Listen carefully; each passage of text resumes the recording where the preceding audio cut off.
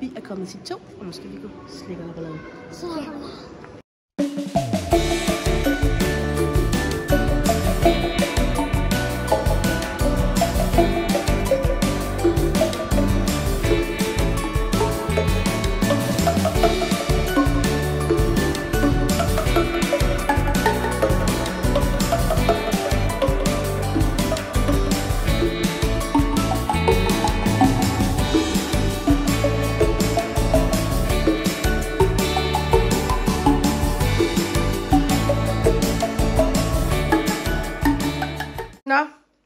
øhm, familien Vidt er klar. Kom herhen, Pumpkin.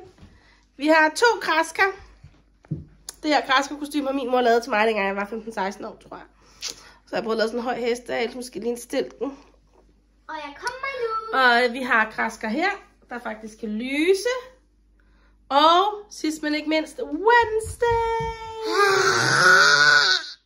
Som ligner lidt mere sådan en Dracula eller vampyr eller noget. Ja.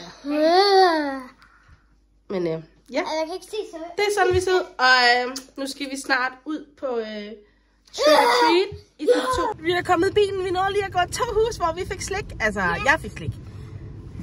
Så øh, nu vil Krasker ind og Krasker 2 Vil du se det? og Wednesday kører i City 2.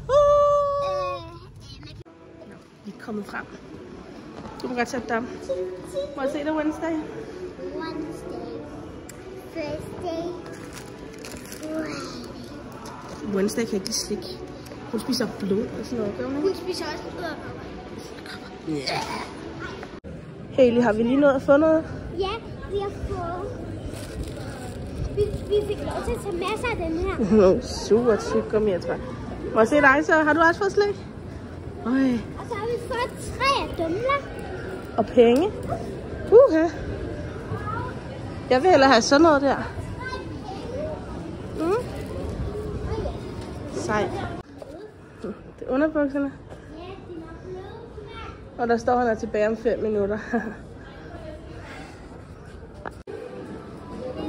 Og tag til dig selv. Katie, hun spiser pomfritter, som om hun aldrig nogensinde har fået pomfritter før.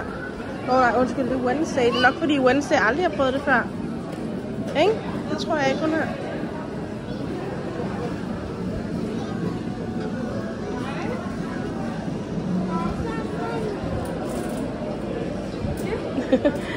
tak. Den er her om bagved. Tak. Må jeg se dig, Kasker? Hej, lille Kasker. Hvor er du fin.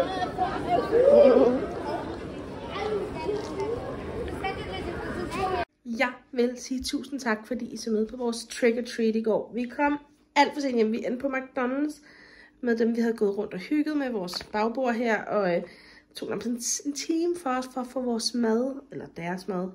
Øhm, og øh, ja, jeg tror, de var hjemme, vi var hjemme halv i ni, og ja, inden pigerne fik, er kommet i seng og sådan noget, men de fik helt vildt meget slik, så jeg har faktisk siddet og spist en del af det i dag. Øhm, og jeg har taget alt Halloween-pynt ned, det føles virkelig skønt, og jeg har faktisk allerede sat vores juletræ op, og lille juletræ der, for at give lidt lys i mørket. Øhm, men tak fordi I så med på Trick or Treat. Giv os lige verdens største like. Abonner også lige på kanalen, og ses næste gang. Hej hej. Peace out.